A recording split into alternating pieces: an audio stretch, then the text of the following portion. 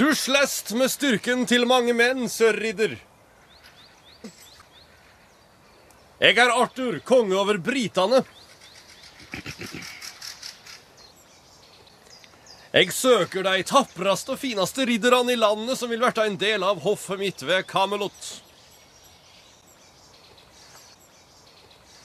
Du har vist deg verdig. Vil du bli med?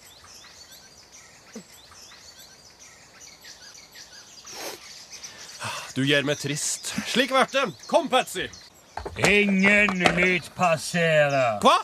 Ingen lyt passerer. Jeg har ingen disputt med deg, min gode ridder, men jeg må krysse denne brua. Da lyt du døy. Jeg kommanderer deg som britenes konge til å gå til sides. Jeg går ikke til sides for noen.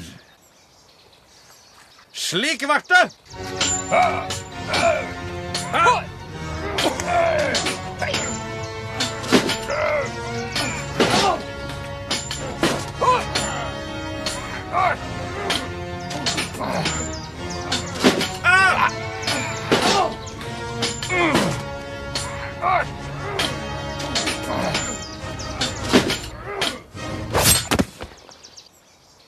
Nå, gå til sides, verdige motstander. Ja, det er bare ei skramme. Ei skrame! Arma di er borte. Nei, det er hun vel ikke. Ja vel, hva er det der, da? Jeg har kjent verre. Du lyg! Kom igjen, de pyse! Ha! Oi.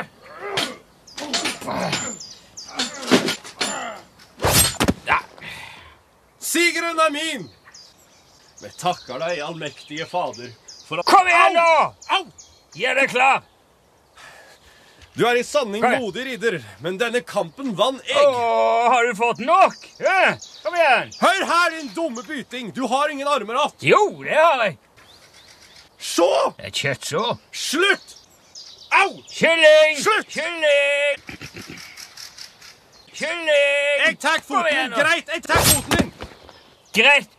Det der skal jeg ta deg for.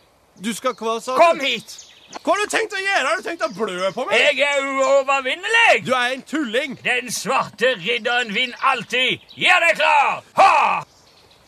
Kom igjen! Ha, ha, ha! Greit. Vi kan si det blir uavgjort. Kom, Patsy. Åh, ok, ja, jeg skjønner du stikker av, ja. Forbaska feinger. Kom hit. Kom og få får fortjent. Jeg skal bite deg føttene.